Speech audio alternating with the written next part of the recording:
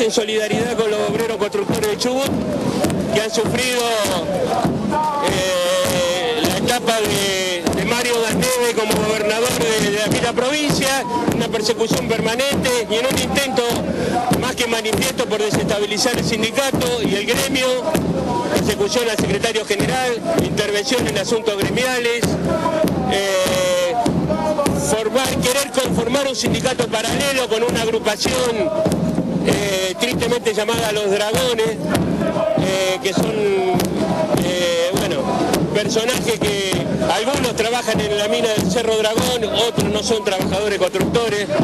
Eh, bueno, lo que hacemos acá es manifestarnos y hacerles saber que esto que no se puede manejar como patrón de estancia, por más que él sea gobernador de su provincia, si comete un acto de injusticia, si se mete con la institucionalidad de los trabajadores, se los vamos a hacer saber los trabajadores, se lo van a hacer saber a cualquier parte que vaya. ¿Cuántos trabajadores están manifestando hoy acá? Acá en este momento somos 50, 60 compañeros de la MUOCRA, todos trabajadores de acá de Bahía Blanca.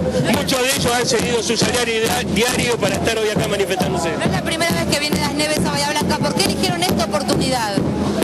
Eh, lo que ocurre es que nunca vino, eh, la, la vez que vos te referías hace dos años, que vino que estuvo en el Hotel Italia, y bueno, nosotros todavía como agrupación estábamos en un proceso de conformación, no estábamos para dar eh, este, respuesta que le estamos dando, y ahora sí lo hicimos. Antes no vino, antes no vino. ¿Van a seguir eh, durante toda su estadía?